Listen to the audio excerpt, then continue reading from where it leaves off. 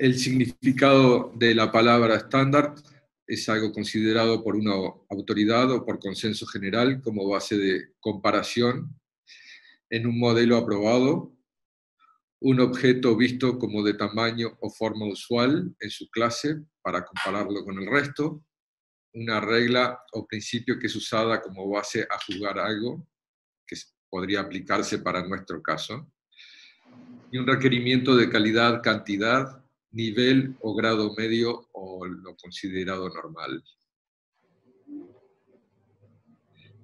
Los estándares, este, en, en nuestro caso, para las razas de perros, son algo que están en continua evolución, en constante movimiento y cambio. Hay algunas razas que cambian mucho menos sus estándares y hay otras que lo hacen más seguido. Este, pero es algo que no está grabado en piedra, que es inmóvil, este, por diferentes razones, muchas veces por temas de salud, muchas veces por temas de leyes nacionales, este, influencian para que el estándar esté en continuo cambio.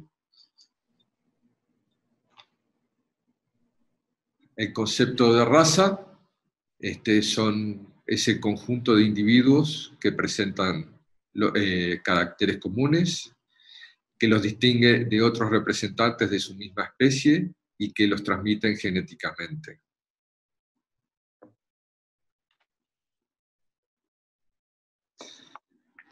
Los comienzos de los estándares eh, son difíciles de saber, pero eh, hay ciertas cosas que están documentadas históricamente. Este, hay muchas razas que tienen miles de años de existencia, algunas casi incambiadas, otras que han variado mucho, y han existido muchas formas diferentes de transmitir los estándares. Este, muchas veces se hacía tipo coplas o escritos o por apuntes que se encontraban históricamente. Este, yo traje como una forma de ejemplo de, de, una de las primeras descripciones escritas tipo estándares que, encontramos, y es este, la descripción de un Greyhound en 1486, este, que dice en unas pocas líneas lo que básicamente sigue siendo muy aplicable para lo que es un Greyhound hoy en día, la cabeza como una serpiente, el cuello de un pato, la espalda de una viga, los lados de un brim, que es un tipo pescado, o sea, son aplanados, los pies como un gato y la, la cola como una rata. Esa es explicación bien sencilla que todavía hoy se puede aplicar y que, este, y que ya sería como los inicios de los estándares escritos.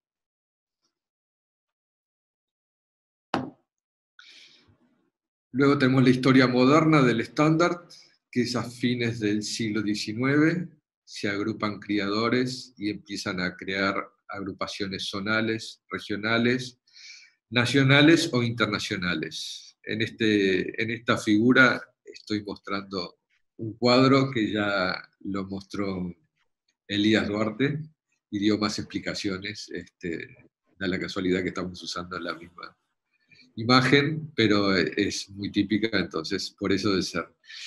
En la actualidad hay cuatro grandes agrupaciones mundiales que emiten estándares de raza.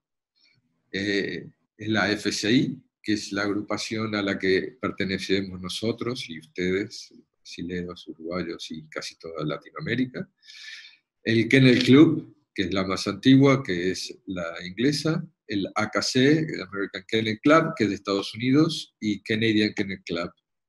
Después están este, Australia, Nueva Zelanda, Sudáfrica, pero en general ellos siguen los estándares creados en estas cuatro este, agrupaciones.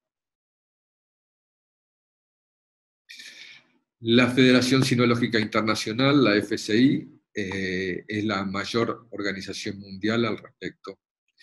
Eh, abarca 99 países, reconoce 346 razas, tenemos eh, pertenecientes a los países de la FCI, 9.500 jueces, y se realizan más de 5.000 exposiciones en los que se otorga el título internacional por año. Todos los miembros de la FCI utilizan los mismos estándares y son publicados en cuatro idiomas oficiales, en inglés, español, alemán y francés. Este, es por eso que da tanto trabajo a veces y hay, hay veces algunas reclamaciones por los tiempos para tener actualizados todos los estándares y en los cuatro idiomas. Hay veces que no es muy fácil conseguir este, las traducciones, ya que hay que buscar gente que hable muy bien el idioma y que conozca el idioma sinófilo y, y pueda interpretar este, en, en, los distintos idiomas lo que realmente quiere transmitir el estándar. Nosotros en la FCI siempre tratamos de respetar lo más posible los estándares de la raza del país de origen, sea miembro o no de la FCI. Este, esperamos lo mismo del resto de las organizaciones, eh, no siempre es así, eh, pero nosotros este, lo hacemos de esta forma porque pensamos que es la forma más justa y la forma más fácil de evitar este, interpretaciones erróneas y que de pronto los estándares los cambie gente que realmente no tiene los conocimientos suficientes como para hacer ese tipo de cambios. Este, es una cuestión de reciprocidad y de respeto este, y realmente nosotros esperamos que, los, que las demás agrupaciones hicieran lo mismo con los estándares de los países a los que, los que pertenecen a la FCI.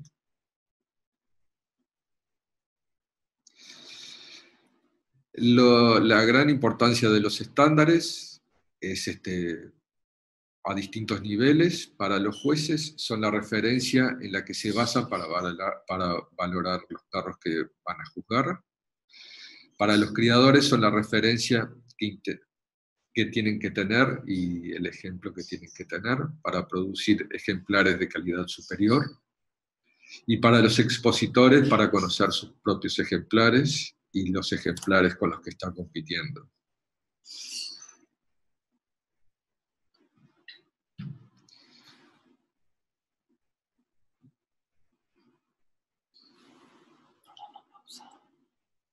Estándar de la raza es la descripción detallada del tipo ideal de la raza. El país de origen es quien determina cada estándar. En FCI tenemos un modelo de estándar e intentamos que todos los estándares sigan el mismo orden, en general en algunos puntos el mismo número de líneas. El orden de las faltas sea detallado como en el estándar modelo y tenemos este, algunas generalidades para todos los estándares de la FCI. Por ejemplo, algunas faltas descalificantes que son generales para todos. Y también tenemos la obligación de agregársela a los estándares que no son de nuestra organización, estándares que vengan de Inglaterra o de Estados Unidos, este, solo se le agregan ese tipo de cosas que son generales como agresividad o extrema timidez, anormalidades físicas o mentales deben ser descalificadas, que los machos deben de tener dos testículos normales y descendidos, ese tipo de cosas que necesitamos que estén en todos los estándares por una cuestión de, de reglas nuestras.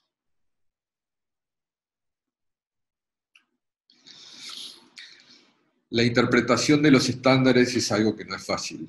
Eh, los estándares no nos ofrecen precisamente una pauta objetiva.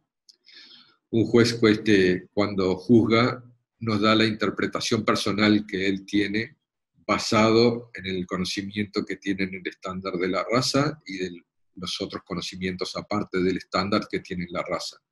Es su interpretación personal, por eso no todos los juzgamientos o todas las opiniones son iguales y eso este, es muy valorable. Pero este, es eso, no, Es muy difícil que alguien que no conozca una raza lea un estándar y entienda perfectamente lo que es. Es imposible de poder lograrlo. Se buscan las formas, pero y se trata de hacerlo lo más este, subjetivo posible, pero es imposible ser totalmente subjetivo. Es difícil que dibujar en 6, 7 páginas lo que es un estándar, una raza, perdón.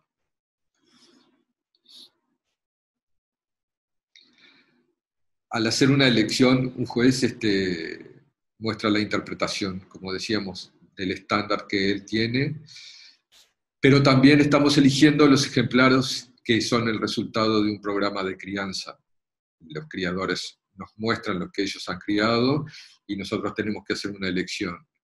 Este, la elección en general la, enfocamos más a nuestro criterio, a quién tiene el fenotipo que esperamos que produzcan el genotipo típico y saludable de esa raza.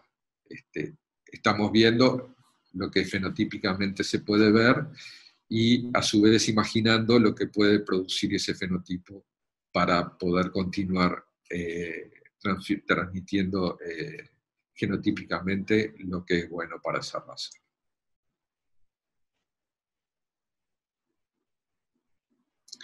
Punto del estándar, que como mencionaba están en el estándar modelo de la FCI, es el origen, o sea, el país de origen, la fecha de publicación, la clasificación dentro de la FCI, o sea, grupo, subgrupo, este, un breve resumen histórico, que en general se trata de que no pase de 10, 12 renglones, para no serlo demasiado extenso, que tenga solamente las cosas principales de la historia de la raza, la apariencia general, que nos describa a primera vista los principales puntos de la raza, las proporciones importantes, que esto es muy importante que estén bien especificadas, cómo se toman, por ejemplo, la altura a la cruz con el largo, pero de qué forma, porque no todas las razas es igual, el temperamento y comportamiento típico de cada raza,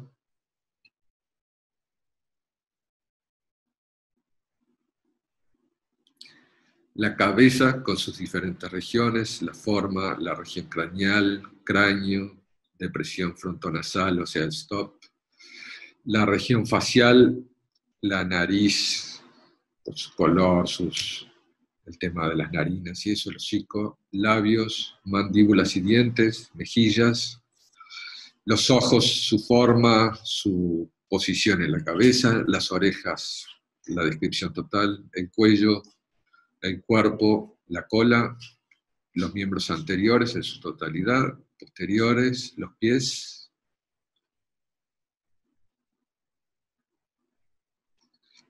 El movimiento, que es típico y diferente en cada raza, el manto, color, tamaño, peso, las faltas, las faltas graves y las descalificaciones, y después la nota bene, que es lo que hablábamos que estaba en todos los estándares.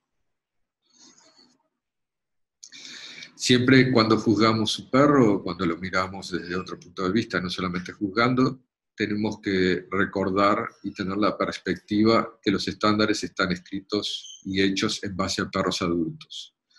Debemos recordar esto eh, al momento de juzgarlos y al momento de juzgar a los perros jóvenes y a los cachorros. Este, o sea, tenemos que juzgar en perspectiva.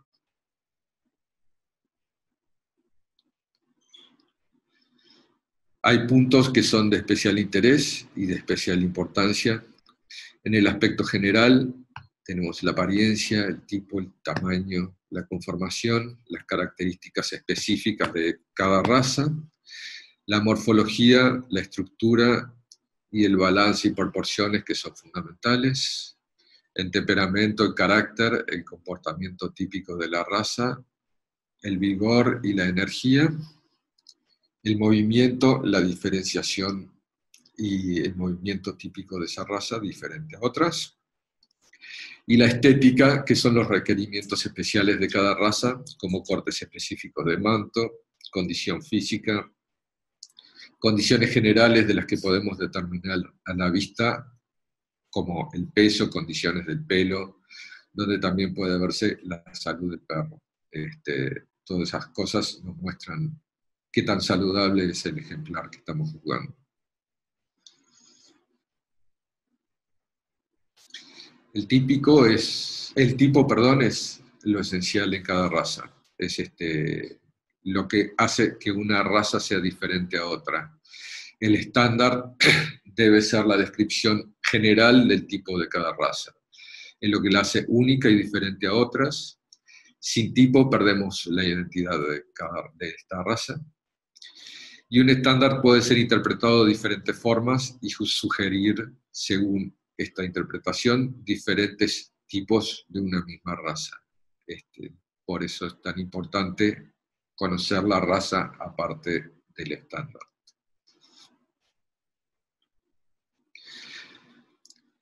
Hay diferencias de tipo en las razas dependiendo de su interpretación, como decíamos. Este, hay estándares que son muy similares con diferentes interpretaciones y nos conducen a diferentes tipos. Aquí vemos ejemplos, por eh, Springer en Europa y en Estados Unidos son bien diferentes. El pastor alemán eh, en Alemania y en Estados Unidos también son bien diferentes. Y si vamos a los estándares, no existe esa gran diferencia entre los estándares pero sí existe el ojo hecho a determinada raza y la costumbre de verlos, entonces este, es normal que si viene un juez europeo a juzgar pastor alemán a Estados Unidos, le va a chocar mucho porque es un tipo completamente diferente. Y eso lo hace este, la interpretación del estándar, porque como hablábamos, los estándares en letra no son casi diferentes.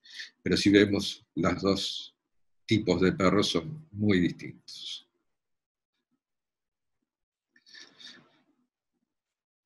Este, hay muchas veces que gente se aproxima o que escuchamos comentarios de gente de por qué no se hacen nuevas razas en base a los tipos diferentes. Y mi opinión personal por supuesto, no es la mejor y todo el mundo puede pensar distinto, es que no me parece una solución. Ya ha pasado con algunas razas que debido a los cambios que han tenido y el tipo diferente en otro país, se ha formado una nueva raza. Aquí vemos el ejemplo del cocker inglés, que había cambiado tanto en Estados Unidos que se convirtió en una nueva raza, el cocker americano. Pero a su vez, el cocker inglés en Estados Unidos tiene un tipo completamente diferente a el cocker inglés inglés o al cocker clásico. Entonces podría ser algo de no terminar nunca, sería tener razas repetidas continuamente. Yo creo que hay que respetar el país de origen, hay que mantener el tipo original de la raza en lo posible, no olvidarse que el resto también existe y aprovechar lo bueno de lo que pueda aparecer en otras partes con diferentes interpretaciones.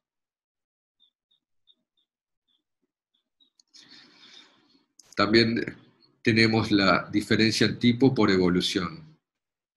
Aquí vemos un pastor alemán antiguo y un pastor alemán moderno. Los dos no hay diferencia por país, son dentro de la FCI, dentro de su país de origen. Aquí vemos un Bull Terrier antiguo y un Bull Terrier moderno, y es completamente diferente, la cabeza, los planos, la potencia, la masa, este, y esto es todo la evolución de la raza. Por eso es una de las cosas también que decíamos al principio que los estándares están en continua evolución. Este, algunas razas, como hablábamos también, han cambiado muchísimo más y otras se han mantenido más este, adecuadas a lo que eran desde un principio. Las prioridades que para mí marcan el tipo son la silueta del perro, la cabeza, el movimiento y el manto. La silueta, nosotros si vemos un perro de lejos, acá como en muchos lados, te dicen pintalo de negro y velo, o no es necesario solamente verlo de lejos a dos o tres pistas de distancia o fuera de la pista, reconocer la raza, darnos cuenta de qué estamos hablando. Esa es la silueta típica de cada raza y lo que nos sirve para marcar bien el tipo de cada uno. Acá no se ven los detalles, pero vemos que hay un Dachshund, hay un Poodle, hay un Fox Terrier Smooth, hay un Collie y hay un Saluki.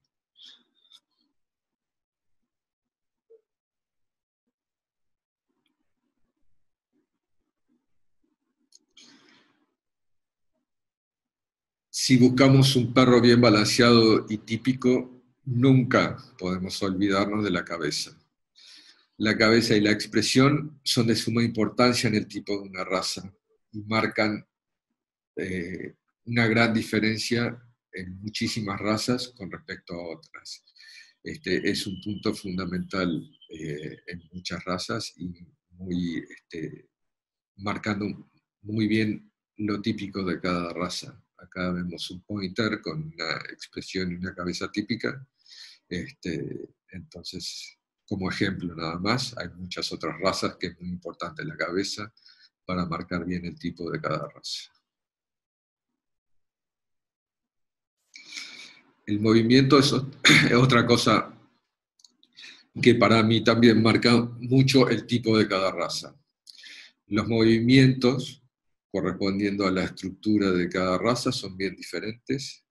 Por eso este, los handlers y los presentadores tienen que entender que cuando juzgamos, eh, ningún juez está buscando que todos los perros se muevan igual.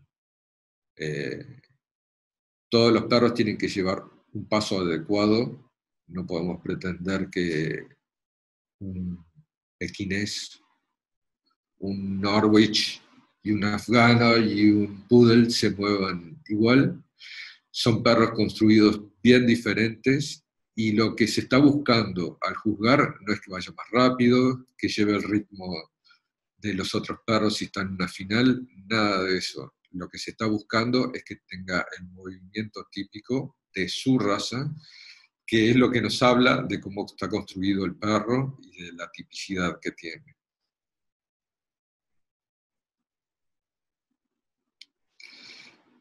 El manto es otra cosa que marcaba yo como una de las prioridades dentro del tipo de cada raza y es de suma importancia. Mucha gente de pronto piensa que es una cuestión de modas o de gustos o de inventar cortes especiales o ese tipo de cosas y no tiene nada que ver. Cada raza tiene su utilidad y cada cuestión en cada raza tiene su porqué. El manto es una de ellas. Eh, si tiene que ser un manto duro, de pelo duro, por ejemplo, Schnauzer, Fox Terrier o muchos otros Terriers, eh, tiene que ser duro por ciertas causas, porque el perro trabaja, porque tiene que protegerse, porque su trabajo se hace en, lugares este, de difícil acceso y eso entonces es una protección si es, este, si, si es un poodle, por ejemplo, el corte no es este, algo que se imaginó alguien y lo hizo pensando que, iba a ser exótico o lindo. Es, tiene su porqué, es un perro de agua, los pompones, las, el tema del pelo en el pecho, es todo para protección del perro en aguas frías y eso, y la textura también tiene que tener una textura especial para que al salir del agua se sacuda y se seque más rápido. Son cada cosa que está pedida en los estándares no es de forma caprichosa, sino es porque eh, es así por un motivo, no es este. Entonces es bueno recordarlo al momento de juzgarlo y al momento de criar y respetarlo, porque es una forma de mantener la raza como se debe.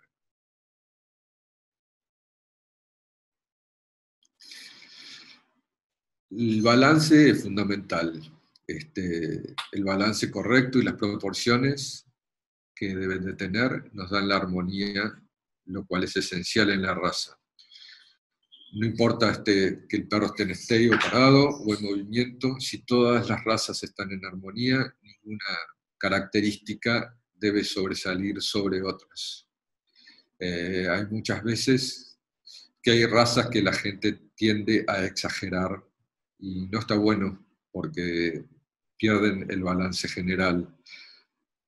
Ese es el peligro muchas veces y hay que tener mucho cuidado en los estándares. Si se pide, por ejemplo, una cabeza que sea larga, no quiere decir que sea exageradamente larga. Si se pide que un perro sea, eh, no sé, chico, no tiene que ser exageradamente chico, tiene que mantener el tamaño que se pide en el estándar.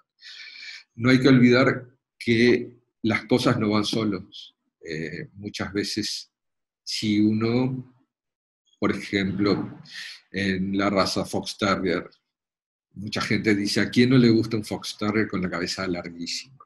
Sí, a todos, a todos nos llama la atención.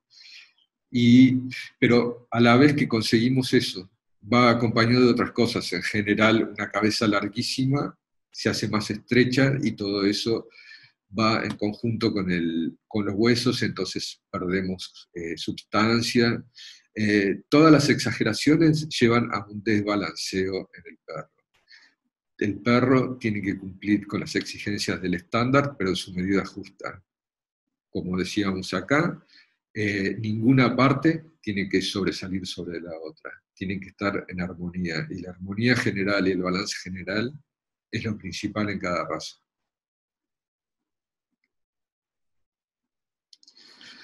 Aquí vemos la importancia de las proporciones de mostrar razas similares con los mismos orígenes, un Parson, un Jack Russell y un Smooth Fox Terrier, y sin embargo las proporciones cambian completamente el perro. Eh, son completamente diferentes, son tres razas bien identificadas, con un mismo origen, con muchas similitudes, pero bien diferentes, gracias a las proporciones. Otros puntos que cuentan dentro de, la tipicidad de su raza es el soundness, que lo puse en inglés porque es muy difícil de traducir al español y para mí el portugués es más difícil, que vendría a ser como la salud física y mental del perro. La clase, que es algo con lo que nace el perro, el perro con clase desde el principio, desde el cachorro ya uno la nota, y la calidad del perro, que es el carisma y el brillo que tenga. Eh, muchas veces pueden haber perros muy correctos, pero le falta ese carisma y, brillo, que si lo tiene le va a dar un plus dentro de, de su vida de exposición y de cría.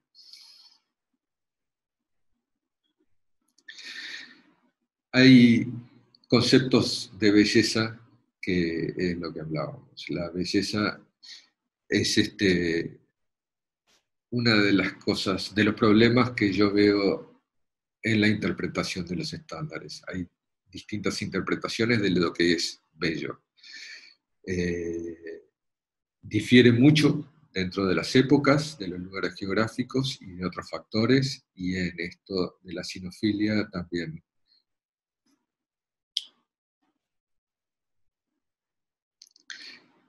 En la tribu Mursi de Etiopía, una mujer bella lucía como la mujer del plato que vemos a la derecha. En la antigua China, el vendaje de los pies marcaba un símbolo de belleza en la mujer también. Todas esas cosas para nuestra cultura no lo veríamos como bellas y lo pongo solo como ejemplo para ver que, que es muy subjetivo la forma de ver la belleza. En los perros, en nuestra actividad en la sinofilia, es muy importante tener en mente que la belleza es el balance, es lo que decíamos, es la armonía entre todas las partes del perro. Hay que interpretarla como de un ejemplar que es típico y a su vez saludable, que es alegre y que es capaz de realizar la tarea para la cual fue creada su raza sin restricciones ni dolor. O sea, que sea un perro realmente saludable. Eh, la parte de que se ajuste en todas sus partes nos da el balance general. Y lo que hablábamos, que en definitiva es todo sobre el balance y la armonía dentro de cada raza. La zoometría es el estudio de las dimensiones de los animales. Son las medidas, el peso, este, la altura, el perímetro, el peso, son factores y descalificaciones en los estándares de muchas razas. Por eso este, muchas veces tenemos que tener muy claro cuando jugamos eh, las medidas específicas de cada raza.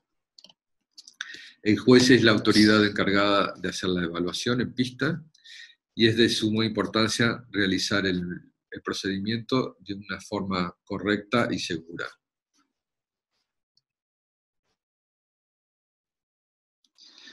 Aquí vemos elementos de peso, diferentes formas de pesar a los perros y muchas veces acá en Sudamérica no estamos muy acostumbrados pero en países de Europa o cuando juzgan especialidades este, requieren que los jueces lo hagan, este, ya que muchas veces implica descalificaciones en cada raza.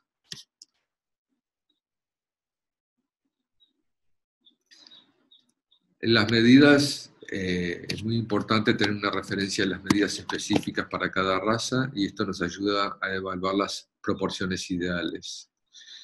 Como decíamos, en varias razas son un factor determinante, descalificante, eh, y no todas se pueden medir, no todas las razas se miden de la misma forma. Cuando se piden proporciones, por ejemplo, se compara el largo a la altura de la cruz. En algunas razas, eh, perro corto es más corto que en otras razas, ya que se mide, por ejemplo, su largo desde la punta del hombro a la punta del isquión, en cambio, en otras razas, como cocker inglés, por ejemplo, se mide desde la cruz hasta la inserción de cola. Evidentemente, ese perro va a ser más largo que otro que pide también sea corto, comparándolo con su medida desde el hombro hasta eh, la punta del izquierdo. O sea que es muy importante que juez tenga claro esas cosas. Aquí tenemos los elementos de medición que se usan, las reglas, otros que son más fijos, como los arcos, que de repente para especializadas en alguna raza están con la medida justa y solamente se le apoya en, la cruz y hay que ver si llega a tocar la mesa, si es un perro de mesa o no. Entonces, este, si no llegara, está pasado de tamaño y ya sería un problema para, para poder seguir jugándolo.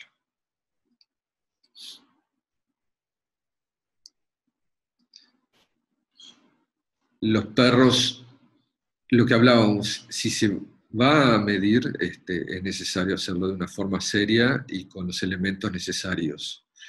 Los perros deben ser medidos en una superficie plana y nivelada, si son de piso, si son de rampa o si son de mesa, según qué raza estemos juzgando. Hay que tomar ciertas precauciones antes de medir al ejemplar y ser muy claros con el expositor que no queden dudas. Eh, si un perro está pasado de la medida o lo que fuera, hay que decirlo de forma clara y que entiendan que está fuera del estándar del expositor.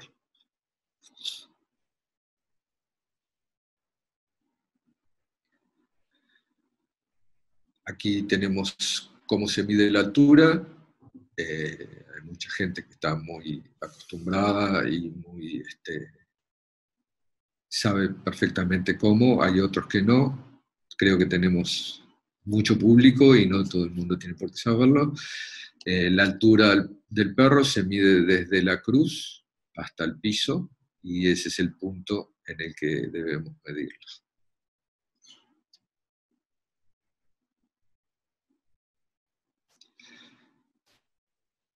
Ahí tenemos otras medidas del perro, por ejemplo, la cuadratura que se ve en el poodle, el largo que nos pide en, el Daxum, por ejemplo.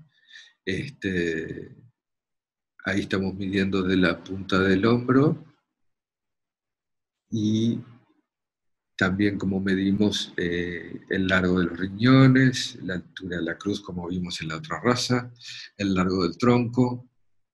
Eh, diferentes razas tienen diferentes requerimientos de medida y tenemos que ser este, conocedores de, cada una para hacer un buen trabajo.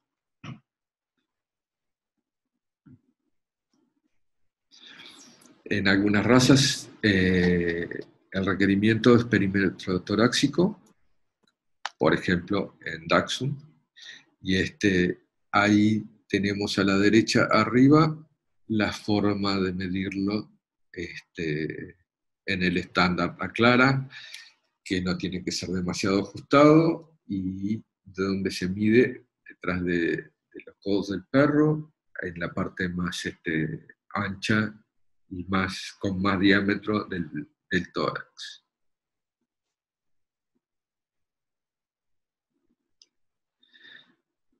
Si un perro, cuando estamos este, midiendo, no se deja medir o pesar, debe ser excusado.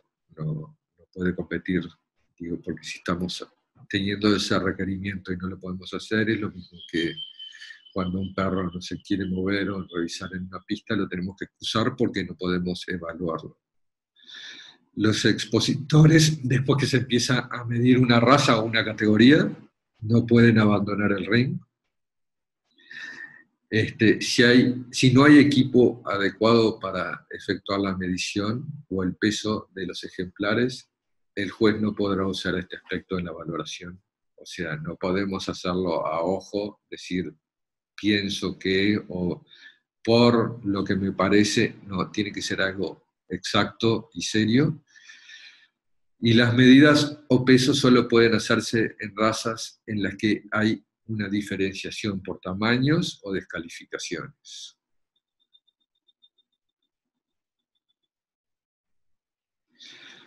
Hay otro tipo de mediciones, por ejemplo el spanning, que se hace en, cuatro razas de terriers, que es este, con las manos, midiendo que nuestras manos eh, puedan cubrir la circunferencia del tórax.